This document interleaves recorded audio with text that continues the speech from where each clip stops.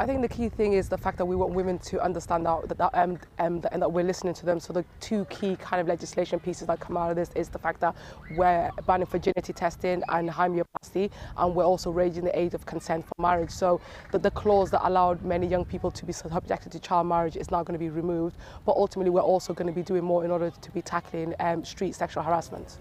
Well, doing more on street sexual harassment, but the Home Secretary has declined to make it a crime right away. She's only considering it. Are you disappointed? Have you been let down by her? No, I'm not disappointed because what we're doing is really like, you know, making it clear to, that there are pieces of legislations out there that, that, that already cover the things that Gemma and other activists have been complaining about and really seeing where the evidence takes us. So if these pieces of legislation are not hard enough or are not achieving the things that we want, then I'm, I'm more than happy to actually sp sp um, speak to the Home Secretary again.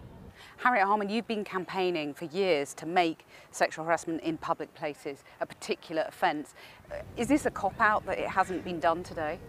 Well, I think it will be if it's not actually in the bill that the government's going to bring forward towards the end of the year. So I think they've really got to do that because there is general agreement that women should not have to put up with it. They should not you know, you shouldn't have a situation where in the dark on her way home from school on her own, a schoolgirl is followed and pestered and menaced why should a man be able to do that and get away with it? So I think there is general agreement that it's not acceptable and that something needs to be done about it. But the thing that needs to be done about it is to change the law so that women and girls know they can complain and men know that if they do it, they'll have their driver's license taken away and they'll end up in court and that will stop them doing it. So it's curb crawling, wolf whistling, the whole array? It's pestering, it's unwanted advances, menacing, following, curb crawling. It's all that sort of thing, which is a universal experience. It was back when I was a, a schoolgirl and a young woman, but in those days it was like, well, you'd better just put up with it or even be flattered that some man should consider to follow you. And now I think that there is an expectation that women you know, like Gemma and Nimco are saying, no, we're not going to put up with this and we want something done about it. Gemma Tutton, you're 16. What kind of experiences that Harriet's been talking about made you want to become a campaigner? I mean, I think so. The first time that I experienced public sexual harassment was when I was in primary school, when I was 11 years old, um, and it was terrifying because I didn't have any education about what it meant, and it left my 15, 16 year old sister having to explain to me that I would have to experience worse things from this every single day of my life. Um, and I think people really underestimate just how ingrained it is in our our brains like e even just me i'm going to college you know next next year and the first thing that i heard about it was the road on the way there is awful for public sexual harassment and i think it's absolutely disgraceful that this country hasn't done it in the past but i'm so proud that we are taking those steps now and I mean, obviously we have a long way to go, but this is a great start. Do you believe things are changing, that people in authority, the government, the police, prosecutors, are they listening to your generation? I mean, I definitely think that there has been a big change. The words public sexual harassment were not in common vocabulary, and so Our Streets Now started our campaign two years ago. Um, I mean, and now obviously this new strategy has is happening. Um, so I do think people are listening, but um, I'm not sure that we're being taken as seriously as we'd like to be. When you think about the deaths of Sarah Everard, Nicole Smallman, Bibaa Henry, every three days a woman is killed in this country at the hands of a man shouldn't we really be talking about a fundamental overhaul of the way society treats women?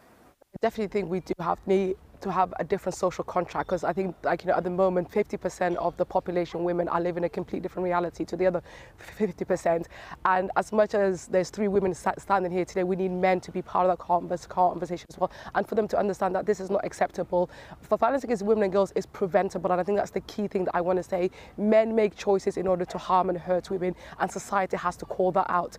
And from the public sexual harassment unto like you know um, other um, other things that are happening there are things that are being looked at as low grade um, harassment, which actually lead to the, uh, to the bigger things such as, as rape and domestic violence and everything else. So I do believe in a world where women can not only be free from violence, but also the fear of it. And for me, I think that is the most corroding thing in my life is the fact that I know so many women who have been raped or abused, but at the same time, men don't seem to know anybody who's actually raped or abused. So I want to actually put a call out there to say to men that you're, you're in spaces where you can have these conversations, take these strategies and, and, and help us create a society that's safe for all of us.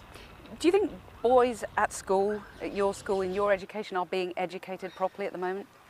No, not not at all. I think that there is a disgusting uh, culture of rape culture in schools, um, and you know, boys. It's in school where boys learn that they can get away with with sexually harassing comments and and making feels making girls feel uncomfortable. I mean, everything from sharing nudes to to showing girls pornography. I mean, I've seen it all. I've basically experienced it all. School is where it starts, and that is why, obviously, legislation is so important, but education needs to be at the core of, of this campaign and, and this movement because we need to, to get to boys before they, before they see that they can get away with it and we need to get to girls before they feel that shame and embarrassment of the sexual harassment that they face.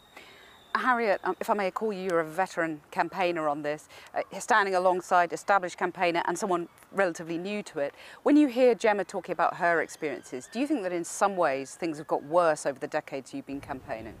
Well, I think actually it makes me feel optimistic that there is such a determination now amongst this generation not to put up with what we had to put up with. And also that there's been an agreement reached, as Nimco said, that there does need to be a new social contract, if you like. But I think it wouldn't take very many men in court and then all over social media for the fact that they've been harassing a, a schoolgirl to make men stop and think and change their behaviour because most of the men who are doing this, they don't think they're doing sexual harassment. They think they're law-abiding men who are doing some banter. They're choosing to overlook the fact that they are absolutely terrorising the woman who's on the dark street on her own. And so therefore I think that a new law can make a big difference and I feel optimistic because there are 200 women in Parliament now they are there to do this sort of thing. There are women in government now, there's a woman Home Secretary. If they're not going to do that, well, who is and what were we there for?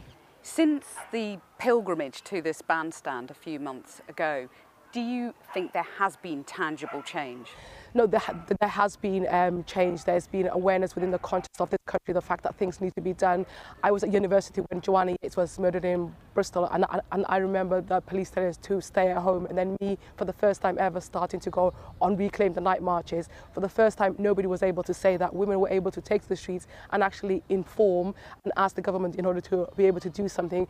We reopened the consultation after the Sarah Everard uh, murder, and we got 150,000 submissions because of that, and because people people really wanted to share things with the government. So it, it would be really amiss for us not, not to listen and really un, um, understand that people want things to change and things will be changing.